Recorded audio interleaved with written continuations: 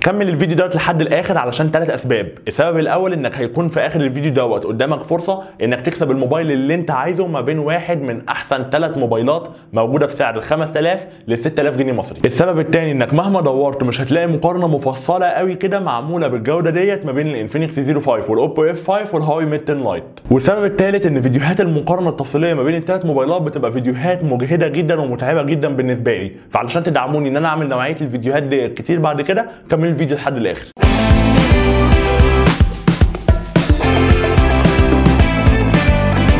أول حاجة بتلفت نظرك أول لما تمسك أي موبايل هي التصميم والخامات بتاعته وما كنتش أتخيل إن أنا في حياتي هقول الجملة ديت ولكن Infinix فعلا أحسن خامات في الثلاث موبايلات دول في رأيي. OPPO بتستعمل polycarbonate واللي أنا اتكلمت عنه بالتفصيل في المراجعه الكاملة بتاعته واللي بتسمح لك إن الموبايل يكون خفيف. فهي مادة حلوة لكن مش معدن والناس بتحب المعدن أكتر. هواوي برضو بتستعمل المعدن ويعتبر كويس لكن Infinix بصراحة كان مديني إحساس إن هو متين قوي وقوي عن الاثنين التانيين من ناحية تحمل الصدمات.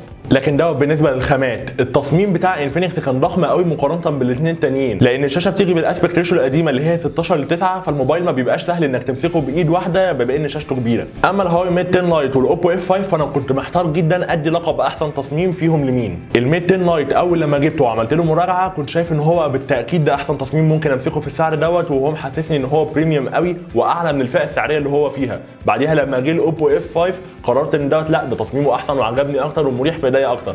وأنا بصور المقارنه بين الاثنين وأنا ماسك الاثنين في إيديا فعلا كنت محتار جدا ما بين الاثنين وشايف إن التصميم هما الاثنين هيتعادلوا فيه. ممكن بس ال Huawei Mate 10 Lite بيديك إحساس premium أكتر أو إن هو أحسن من الفئة اللي هو فيها وال OPPO F5 بيديك مسكه أحسن للجهاز بحيث إن هو ما يتزحلقش بإيدك بسهولة. فهسيب موضوع التصميم دوت لحكمكم أنتوا. لو أنتوا عايزين موبايل تصميمه ضخم ومتين شوية ويحسسك إن أنت ماسك موبايل صلب قوي هو ال Infinix Zero 5 هو اللي بينطبق عليه المواصفات ديت. أما ال OPPO F5 وال Huawei Mate 10 Lite فيدوك خامات كويسة لكن مع تصميم انسيابي أكتر وإن هو يكون مريح في إيديك أكتر في رأيي.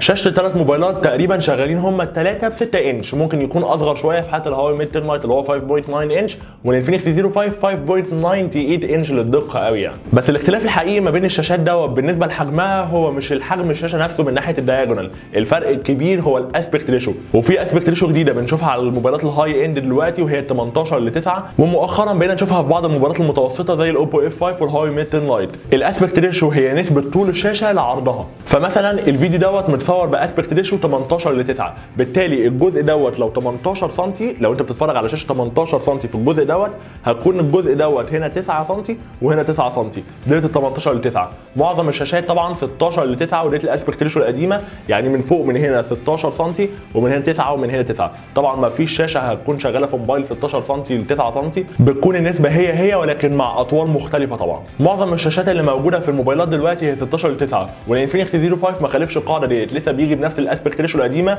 واللي غالبا أنت بتتفرج على موبايل برضه شغال 16 ل 9 أو من لابتوب شغال 16 ل 9 أما الموضة الجديدة في الموبايلات هي 18 تو 9 واللي أنا بصور عليها فيديو زي دوت كده النسبة بتاعه طول الشاشة وعرضها هو 18 to 9 وديت اللي بيجي بيها الهواوي ميت 10 لايت والاوبو اف 5 وهم أول موبايلات ينزلوا في مصر في الفئة المتوسطة بينزلوا بالشاشات ديت ومن أوائل الموبايلات برضو في العالم اللي بينزلوا بالشاشات ديت في الفئة المتوسطة. التصميم دوت بيسمح لك إن الموبايل رغم إن شاشته تكون كبيرة يفضل برضو رفيع في إيديك وما يكونش ضخم قوي بالنسبة لك. ودوت بصراحة كانت حاجة كويسة جدا وفادت الهواوي ميت 10 لايت والاوبو اف 5 في ناحية التصميم. أنا علشان أقارن ما بين الإضاءة اللي طالعة ما بين الثلاث موبايلات دول والألوان بتاعه كل شاشة فيهم اضطريت إن أنا اطفي كل أنواع الإضاءة حواليا وإن أنا أبص للثلاث موبايلات بس أو الشاشات بتاعتهم. بس. بعد ما عملت الكلام دوت بقيت أقدر أقارن ما بين الثلاث موبايلات كويس جدا لأن الثلاثه قدامي. لكن بالنسبة لك أنت علشان هتكون شايفهم من خلال الكاميرا بتاعتي ومن خلال الشاشة بتاعت موبايلك اللي هي أصلا بتعدل على الألوان شوية فمش هتقدر تعيش التجربة زي ما أنا عشتها بالظبط. ولكن عموما الثلاث موبايلات ألوانهم حلوة والشاشة بتاعتهم كويسة من ناحية الإضاءة. الانفينكس 05 هو اللي كانت ألوانه مختلفة شوية عن الاثنين التانيين. كانت متشبعة قوي وتحس إن ال contrast فيها عالي. لو أنت بتعمل مونتاج مثلا أو لو أنت شخص احترافي شوية مش هيكون الموضوع ده كويس بالنسبة لك لأن أنت مش هتحب إن الشاشة بتاعتك تطلع لك ألوان مش واقعية قوي ولكن أي مستخدم عادي هتوري له ثلاث شاشات دول في نفس الوقت هيكون ميال أكتر لألوان الانفينكس 05 لأنها بتبقى ألوان حيوية أكتر. أما الأوبو اف 5 والميت 10 لايت فألوانهم كانت قريبة جدا بشكل غريب من بعض. الاثنين كانوا واقعيين جدا والاثنين كانوا حلوين جدا. اللي هو ميت 10 لايت ممكن تكون الألوان كانت warm شوية أو دافية أكتر شوية ولكن الاثنين قريبين من بعض قوي. فما كنتش قادر أحدد مين فيهم ليه الأفضلية لأن أنا شايف إن الاثنين متعادلين بصراحة من ناحية الشاشة. الكاميرا الأمامية والخلفية لكل موبايل فيهم اتكلمت عنها بالتفصيل قوي في المراجعة الكاملة اللي أنا عملتها لكل موبايل فيهم. فلو أنت حابب تعرف بالتفصيل عن كاميرا معينة في الثلاث موبايلات دول سواء الأمامية أو الخلفية فاتفرج على المراجعة الكاملة بتاعته. أما المقارنة اللي أنت بتتفرج عليها دلوقتي ديت فهي هتكون الخطوط العريضة مع بعض الصور الصغيرة تقارن ما بين الثلاث موبايلات دول. سواء الهواوي ميت 10 لايت أو الانفينكس 05 الاثنين بيجوا ب dual camera أما الأوبو إف 5 هو بيجي بكاميرا واحدة ولكن دوت مش هيخليه يخسر في المنافسة ما بين الاثنين التانيين غير طبعا في وضع ال portrait mode. من الآخر من غير ما أطول عليكم في النقطة ديت قوي الانفينكس 05 هو أحسن كاميرا خلفية فيهم سواء في ظروف الإضاءة الضعيفة أو في ظروف الإضاءة الكويسة. الألوان بتاعته كويسة التفاصيل بتاعته ممتازة البورتريه فيه كويس جدا. بصراحة الكاميرا بتاعته بالنسبة لي كانت خرافية بالنسبة للفئة اللي هو فيها. الهواوي ميت 10 لايت والاوبو اف 5 الاثنين كانوا تقريبا نفس الجودة في النهار. الاثنين بيدوني ألوان كويسة جدا والاثنين بيدوني برده التفاصيل إلى حد ما كويسة. في ظروف الإضاءة الضعيفة الاوبو اف 5 كان أفضل بكتير لأن الهواوي ميت 10 لايت كان الصورة بتاعته وال noise فيها عالي بشكل غريب قوي فما كنتش بقدر استمتع بالصورة بصراحة. ولكن الهواوي ميت 10 لايت فيه ال portrait mode أما الاوبو اف 5 علشان ما فيهوش dual camera فما فيهوش portrait mode بالتالي مش هتقدر تعمل عزل للخلفية اللي وراك لو أنت بتصور شخص. الكاميرا الأمامية بصراحة في رأيي الانفينكس 05 هيخرج بره المنافسة. ما ينافسش الموبايلين دول سواء في النهار أو في الليل سواء كانت ظروف الإضاءة ضعيفة أو ظروف الاضاءه كويسة. فرغم إن الكاميرا الخلفية فيه كانت تفوقت على الاثنين بشكل كبير جدا في رأيي ولكن الكاميرا الأمامية واضح إن انفينكس ما كانتش مركزة عليها تماما في الموبايل دوت في المقارنة أو في المنافسة. على الناحية الثانية الهواوي ميت 10 لايت والأوبو إف 5 في الكاميرا الأمامية كانوا بيدوني صور كويسة جدا. الاثنين برضو بيعملوا portrait mode زي الانفينكس 05 اللي برضو بيعمل portrait mode في الكاميرا الأمامية. والهواوي ميت 10 لايت رغم إن ناس كتيرة جدا هاجمت الكاميرا الأمامية بتاعته من ناحية التفاصيل ولكن علقت على النقطة ديت. التفاصيل فيها كويسة ممكن مش wow قوي ولكن التفاصيل فيها فعلا كويسة. وبالنسبة لشخص بيصور سيلفي هو مش هيقعد يعمل zoom للصورة. هو كل اللي يهمه إن الصورة يكون شكلها حلو. التفاصيل فيها باينة كويسة ما تكونش وحشة قوي والألوان فيها تكون ممتازة. ده اللي يهمه. ومع ذلك بصراحة الاوبو اف 5 في الكاميرا الأمامية حاجة ثانية غير الهواوي ميت 10 لايت وحاجة ثانية غير أي موبايل في السعر دوت. الاوبو اف 5 الكاميرا الأمامية بتاعته بصراحة خرافية. ده التعليق الوحيد اللي أقدر اقوله عليها. مفيش اي حاجة تانية توصف الكاميرا الامامية بتاعه الموبايل دوت.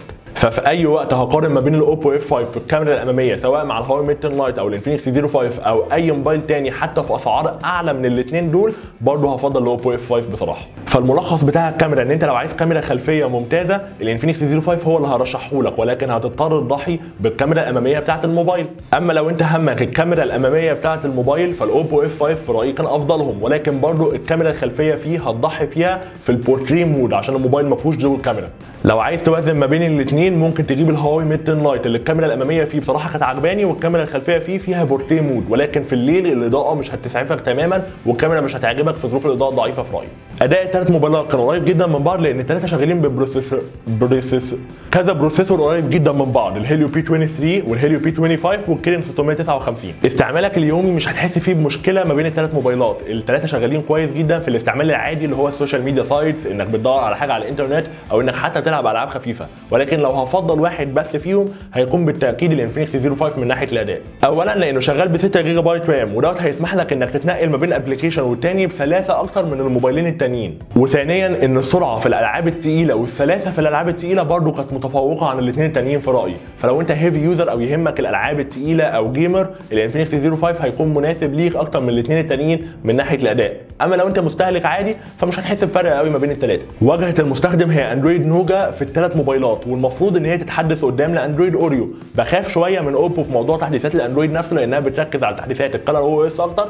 ولكن أتمنى إن هي تبعت تحديث كبير واحد على الاقل اللي هو ال Android Oreo على ال OPPO F5 أما ال Infinix 05 وال Huawei Mate 10 Lite فأنا عندي أمل أكبر ومتوقع أكتر إن هم طبعا هيتحدثوا ال Android Oreo رغم إن الثلاثه مبنيين على Android Nougat ولكن كل واحد فيهم ليه شكل مختلف تماما وليه طباع مختلفة تماما في الاستعمال بتاعه عن الثاني بسبب الواجهة اللي متعدل فيها قوي بتاع كل شركة فيهم. Infinix مثلا صلحت كل ال bugs اللي كانت عندها قبل كده والعيوب اللي كانت بتظهر في الاستعمال اليومي بتاع الموبايل وده بصراحة بقى يخلي التجربة بتاعة الموبايل أحسن وأمتع بكتير. فيها بعض المميزات الظريفة زي الفريزر اللي بيسمح لك إنك تحط فيه أي application بيستهلك من البطارية أو بيستهلك من الأداء بتاع الموبايل كأنك مسحته من الموبايل بتاعك تماما. وبمجرد ما بتدوس عليه بترجعه تاني للاستعمال العادي. وبيسمح لك برضو إنك تعدل على الشاشة بشكل غريب جدا ما فيش أي واجهه مستخدم تانية بتسمح لك إنك تعمل التعديلات ديت كلها. هواوي برضو من بعد ال Emotion UI 5.0 وأنا صراحة شايفها وصلت لواجهه محترمة جدا وظريفة جدا وكويسة جدا. OPPO على الناحية الثانية فاحنا كلنا عارفين شكل الواجهه بتاعتها بيبقى عامل إزاي. copy paste لل iOS وال version دوت وصل فيه حتى ال control center اللي كان موجود في ال iOS ما بحبش أتكلم عن الموضوع ده كأنه عيب أو كأنه ميزة لأن الناس اللي هي ما بتحبش ال iOS مش هيعجبها الواجهة ديت والناس اللي بتحب ال iOS هيعجبها الواجهة ديت. فكل واحد ورأيه الشخصي في الموضوع دوت. ولكن من ناحية السلاسه نفسها فهي بصراحة واجهه مستقرة لأبعد الحدود وتقريبا هي أكتر واجهه مستقرة فيهم كمان. لو أنت عندك فكرة عن ال OPPO F5 وال Infinix 05 وال Huawei Mate 10 Lite فأنت عارف إن اللي هيكسب فيهم في البطارية هو ال Infinix 05 مع ذلك ال OPPO F5 وال Huawei Mate 10 Lite ما كانوش كارثيين قوي بالنسبة لي إن هم يستحملوا heavy user زيي ويقعدوا معايا حوالي خمس ساعات screen on time يعتبر وقت مش وحش. تفوق ال Infinix من ناحية البطاريه ما كانتش إن هي بتقعد معايا مدة طويلة بس هي كانت كمان أسرعهم في الشحن لأن هو الوحيد اللي بيدعم فيهم الشحن السريع. OPPO معروفة بشواحن ال VOOC بتاعتها واللي هي أسرع الشواحن في العالم ولكن للأسف OPPO مش مستعملة شواحن ال VOOC في الموبايل دوت والموبايل ما بيدعمهاش. فديت خلت ال OPPO F5 وال Huawei Mate 10 Lite متأخرين عن ال Infinix 05 من ناحية الشحن سواء من ناحية السرعة بتاعته أو من ناحية إن هو بيفضي الشحن في قد إيه. حتى ال USB Type-C اللي ناس كتيرة جدا بتهتم بيه واللي أنا ما زلت مقتنع حتى الآن إن لسه مش هيبقى مهم قوي غير لما كل الشركات تحول له ولكنه مش حاجة ضرورية. ايا كان فال Infinix 05 برضه هو الوحيد فيهم اللي شغال ب USB Type-C ال Infinix 05 ما بيكملش ساعة ونص وبيشحن من صفر ل 100% معايا بالكامل. وديت حاجة بتخليه يسخن شوية عن باقي الموبايلات الثانية ولكن ما زال في حد الامان ما بيخليهوش يسخن بشكل مبالغ فيه قوي. على المدى البعيد قوي السخونية مش حاجة مفيدة للبطارية بتاعت الموبايلات هتقلل في عمرها وهتخليها ما تقعدش معاك مدة طويلة. فأتمنى إن Infinix تاخد بالها من النقطة ديت وتحرص شوية في نقطة الشحن السريع دي كانت المقارنة ما بين الثلاث موبايلات. لازم تشوف المراجعة الكاملة بتاعت كل موبايل فيهم علشان تعرف أي حاجة عن أي موبايل فيهم. رأيي أنا شخصيا إن ال Infinix 05 هو موبايل ملائم جدا للشخص اللي heavy user اللي هو همه بطارية كبيرة وهمه أداء ممتاز وهمه شحن سريع والحاجات دي كلها. ال Infinix 05 هيكون أكتر موبايل من الثلاثه دول مناسب ليه. أما ال OPPO F5 وال Huawei Mate 10 Lite ففي رايي هيكونوا أنسب لل user اللي هو همه التصميم يكون مريح في الإيد والتصميم يكون كويس. وفي نفس الوقت الشاشة بتكون أقرب للواقع والألوان حقيقية جدا وواقعية جدا. لو هيفضل الكاميرا الأمامية وهتكون عامل أساسي بالنسبة له ال OPPO F5 هيكون أفضل بكتير جدا طبعا. ولو أنت مش حابب إن موبايلك يكون ما فيهوش portrait mode في الكاميرا الخلفية أو إن الخامات بتاعته ما تكونش من المعدن فال Huawei Mate 10 Lite هيكون أنسب ليك شوية من ال OPPO F5 ده كان رأيي أنا. ما تنساش تشاركني بأكتر موبايل أنت شايفه مناسب ليك وأكتر موبايل فيهم عجبك ما تنساش برضه تعمل like لصفحتي على الفيسبوك وتعمل subscribe لقناة اليوتيوب. كان معاكم أحمد كمان من AK Review استني في الفيديو الجاي.